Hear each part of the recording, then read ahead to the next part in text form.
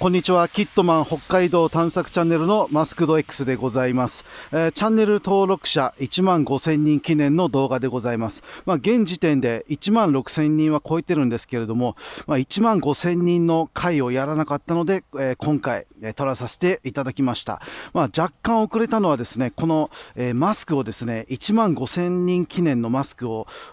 作ってから撮ろうと思ったんですけれども、まあ、明日作ればいいや、明日作ればいいやと思っていたらね、ちょっとあの遅れてしまいましてね、1万6000人をもうすでに超えてしまったという状況でございます。まあ、チャンネル登録をね、あのしていただいた一人一人に感謝しております。ありがとうございます。えー、今後ともね、よろしくお願いします。まあ、1万6000人記念の動画ももうちょっとであの出てきますからね、そちらもお楽しみください。まあ、1万6000人記念の時はですね、これ完成に見えるんですけどね、もうちょっとパーツがあの増えてきますからね、あのその辺も注目してください。というのとね、あの来年は紫のマスクでね、行こうかなと思っております。まあ、今年まではね、黄色いマスクだったと思うんですけれども、まあ、来年から2022年度からは紫色にしようかと思っております。どうですか？これね。剣道家臣型といって上の部分がないこういうね仮面状の形のマスクでございます。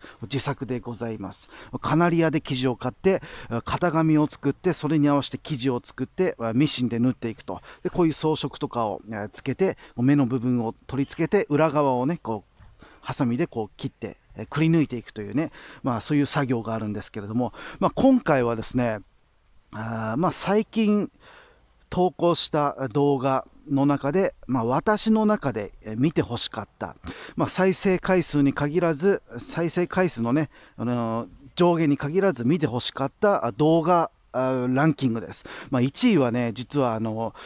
予想つきますか？芦別の大観音です。芦別の大観音っていうのは、まあ、現在ね、あの宗教施設があの所有者で入ることができないので、まあ、なんとかお願いしてこう入ったっていう、まあ、そういうあの取材の交渉だったりとか、実際に中に入ってみた壮大な感じだったりとか、もうなかなかあの今ではね、見ることができないので、もう私の中では手の込んでいた動画だったと思うんですけれどもね、まあ、再生数とかはやっぱりね、閉店とかオープンとか、あとは11月9日の豊平川遺体発見とか、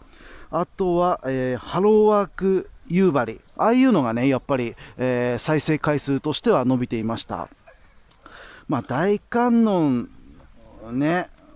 あの芦別といえば大観音ですけれどもその、えー、なぜ立ったかっていう歴史なんかにも触れております、まあ、ハローワーク夕張が伸びたのはやっぱり、え、これからの自分の住んでいる町がどうなるかっていうのはねやっぱりあの皆さん持ってると思うので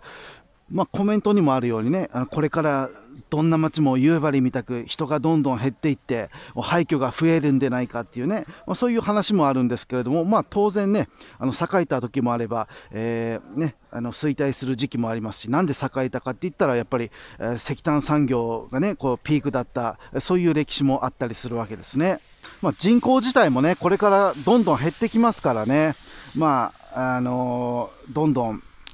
変わっていくのではないか、10年後、20年後ってどうなるかっていうことですよね。まあ、50年前はね、1971年の時は、あの、南北線、ね、開開通しました。その時はね、これからあの札幌、北海道盛り上げるぞって感じで、まあ、札幌市民、北海道市民が一体となってビルを作って、ね、どんどんどんどん盛り上がってきましたけれども、まあ、2030年の新幹線の時はどうでしょうかね、人口もちょっと減っていって、まあ、ビルも作るけれども、まあ、昭和のようなね、味わいのある、遊び心のある建物とかはあんまり見かけないですよね。まあ、どうなるか、ね、一日一日注目でございます。あとは、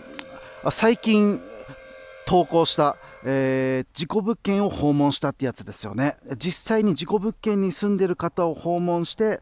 えー、とねまあ、得したか損したか良、えー、かったか悪かったかそんなあのインタビューを撮影いたしました。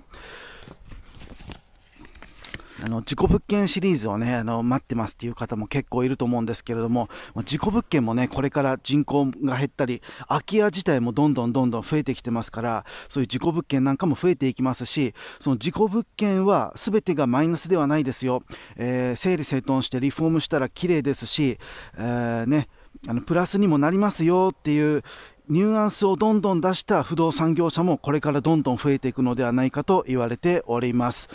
ここでね、ちょっと寒いですからね、一つ見せたいものがあるんですよ、見せたいもの。ちょっとマイク置きますからね。これポッキーですね、ポッキー。今からポッキーのチョコだけを、チョコだけを鼻で、ポッキーのチョコだけを鼻で吸ってしまう。ね、すごいですよね。見てください。これ、ポッキー。ほら。これで驚いてはいけませんよ。なんと、今吸ったチョコを元に戻します。元に戻しますよ。 one、two、three。ああ、ねえ。こういうこともこういうマスクをかぶったらできてしまうわけでございます。そんな感じで1万6000人動画をお楽しみに、えー、お楽しみくださいお。お楽しみに待っていてください。ありがとうございました。